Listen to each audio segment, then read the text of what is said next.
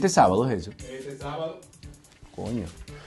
Y el comunicador Miguel Ortega, ex director de Radio Educativa Dominicana, campeón de Jiu-Jitsu, experto en lucha olímpica, ex Power Ranger, pierna derecha de Voltron, doble de Chuck Norris, pupilo de Bruce Lee y villano de la película John Wick.